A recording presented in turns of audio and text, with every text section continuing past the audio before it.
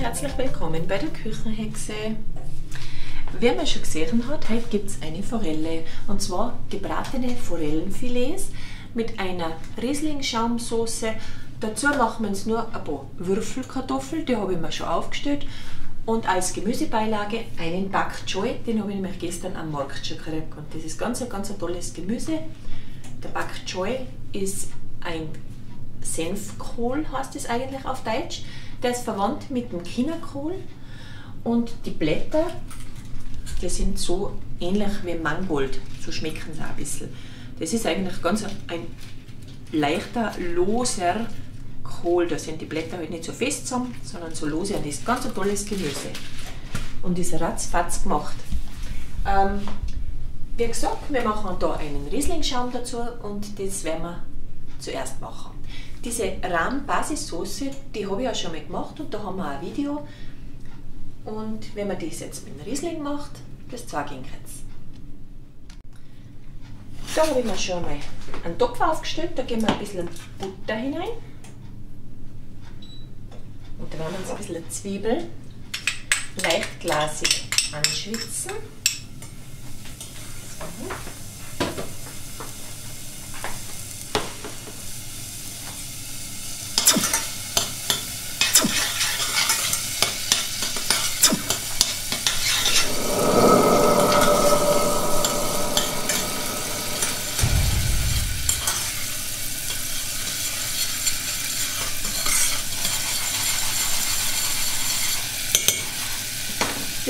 Wir jetzt mit ein bisschen an Riesling vom Acksteinkali auf.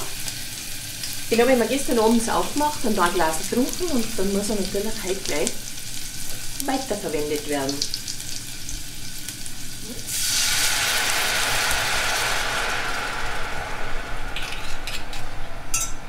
Der Acksteinkali, kann man im Internet nachschauen, hat übrigens wunderbare Weine.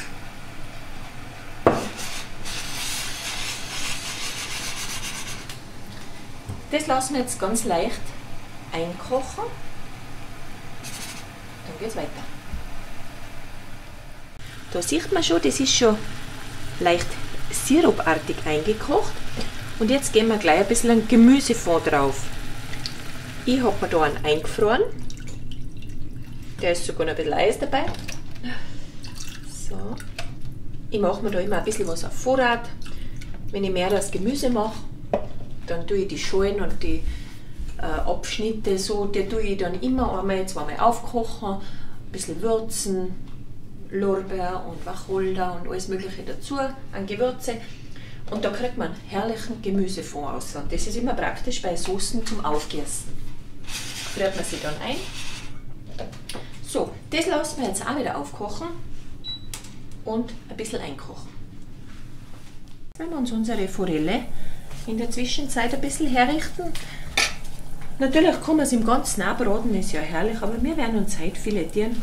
Schaut ein bisschen eleganter aus heute. Zum Filetieren schneide ich einfach da hinter die Kiemen mit ein bisschen einem scharfen Messer, das habe ich mir davor ein bisschen äh, geschliffen noch, schneiden wir das einmal so ein und dann fahren wir einfach entlang der Gräten und da vom Rücken fahren wir einfach entlang mit dem Messer einfach einmal so heraus. So, geht ganz einfach und schon hat man ein wunderschönes Forellenfilet. Das gleiche machen wir auf der anderen Seite.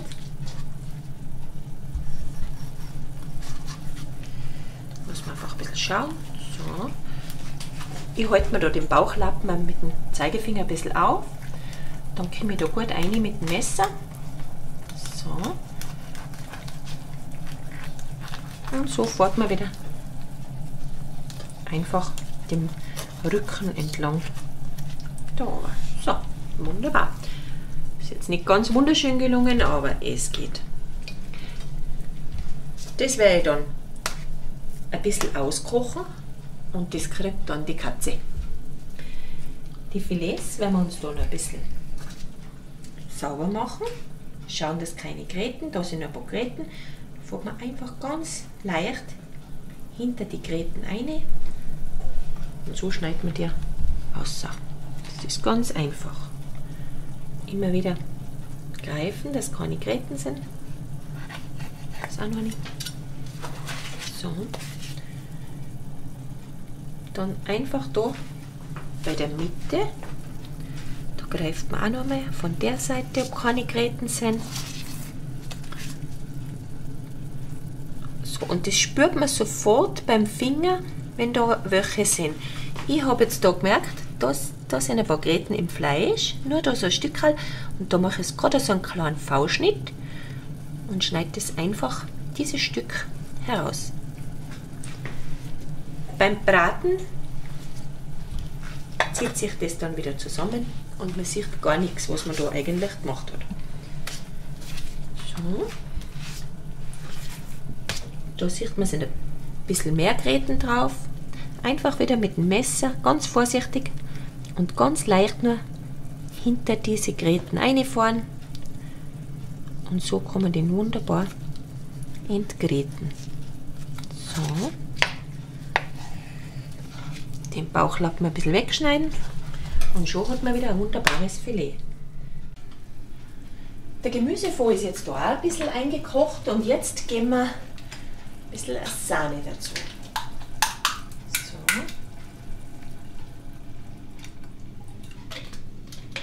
Und das lassen wir jetzt auch wieder ein bisschen einköcheln. Das werden wir aber leicht salzen.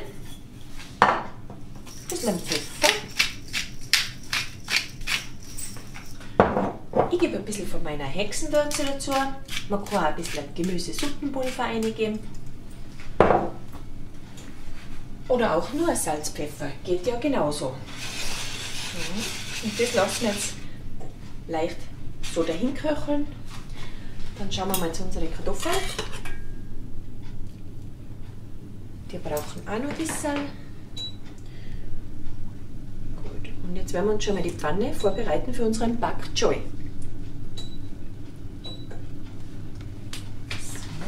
Geben wir ein bisschen Butter hinein.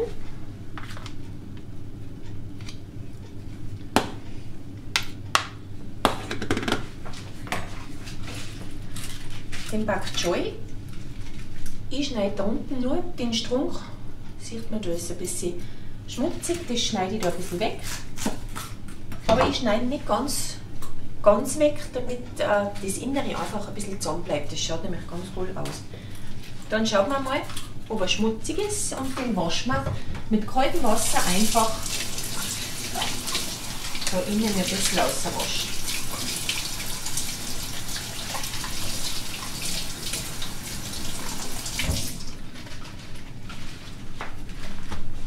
Und dann schneide den einfach nur so bei der Mitte durch.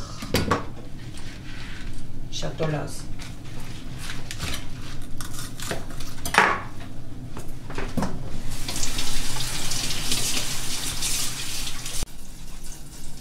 Die Butter ist schon ein bisschen zerlaufen. Sollte nicht ganz heiß sein, da die Pfanne für unseren wunderbaren Bak. Den geben wir jetzt einfach so in die Pfanne. So im Ganzen. Das ist einmal was anderes.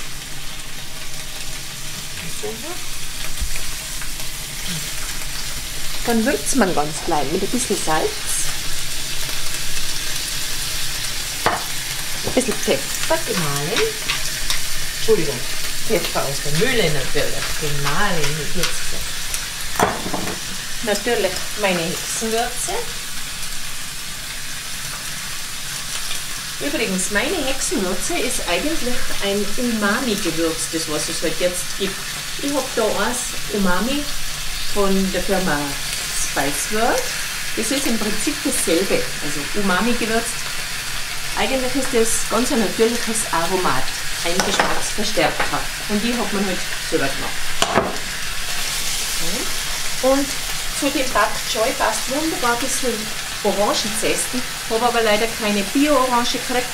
Jetzt greife ich wieder zurück auf dieses Dr. Oetker Orangenzesten. Einfach ein bisschen drauf, das passt hervorragend zusammen. Das ist ganz ein lässiger Geschmack. Die Kartoffelwürfel habe ich mir ja ein bisschen vorgekocht und die gebe ich mir jetzt so einfach ein bisschen in der Butter rein und so lassen wir es leicht anbraten.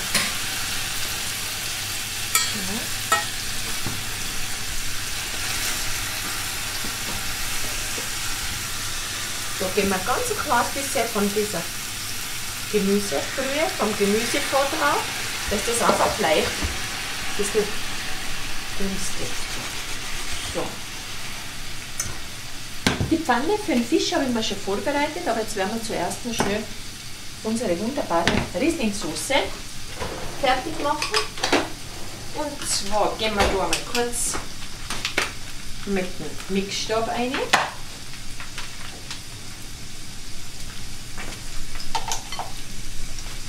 Die mixen wir mal kurz durch, damit die Zwiebelstücke weg sind.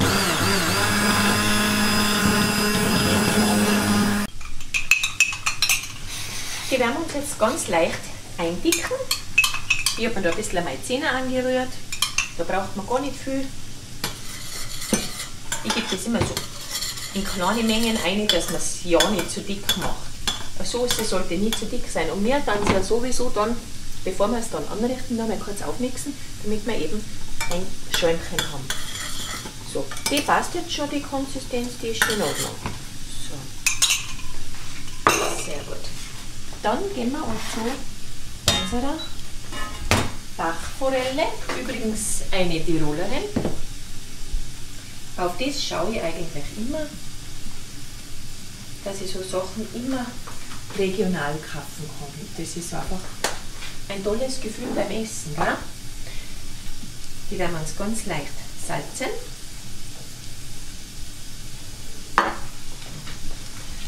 Da habe ich jetzt in meiner Eisenpfanne ein bisschen Olivenöl eingegeben. Anbraten tue ich es lieber mit Olivenöl. So.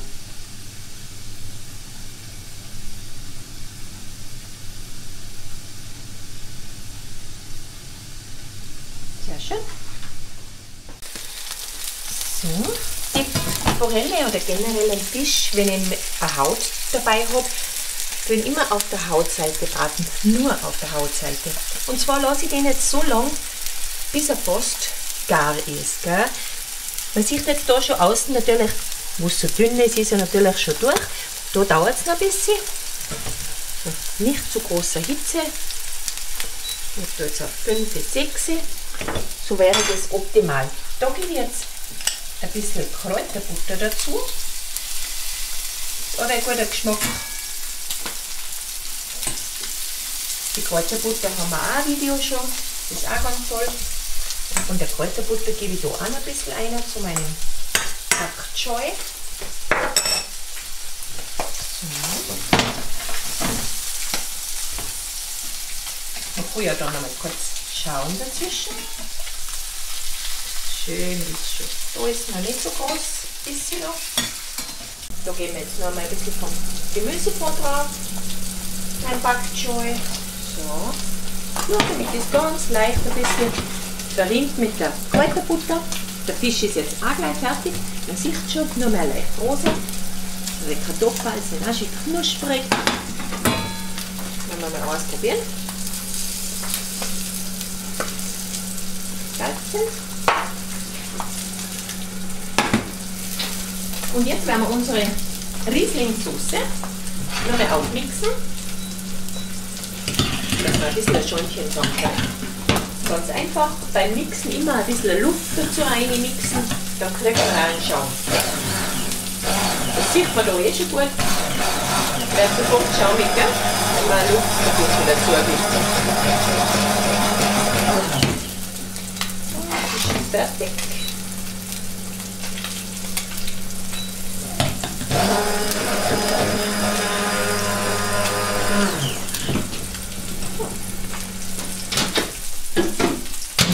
Teller haben wir schon angewärmt. Und jetzt richten wir uns die ganze Sache ein bisschen nett her. Dann werden wir uns diesen Choi ein bisschen aufs Teller drapieren. So.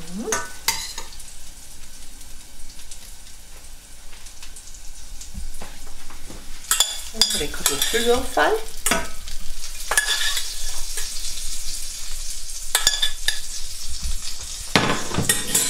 jetzt werden wir unseren Fisch einmal ganz kurz umdrehen und jetzt ist sie ganz knusprig, die Haut. Ganz toll. Mhm.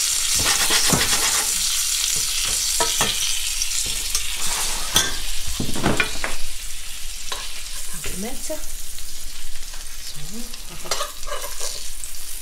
So, so, so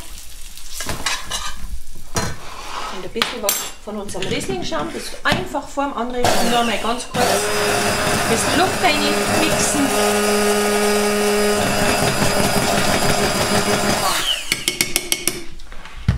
Und schon hat man ein tolles Schäumchen. Ja, vielleicht hat den heute meine Variante von dieser Tiroler Bachforelle mit dem Rieslingschaum. Wenn euch das gefallen hat, darf es mich freuen, wenn ihr es nachmacht. Probiert es aus. Es ist keine Hexerei und irgendwie ist es ganz ein tolles, schönes Essen, oder? Es schaut doch cool aus. Also, ich wünsche euch viel Spaß dabei, gutes Gelingen. Bis zum nächsten Mal.